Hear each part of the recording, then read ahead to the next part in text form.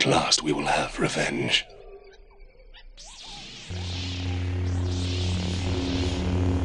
Go!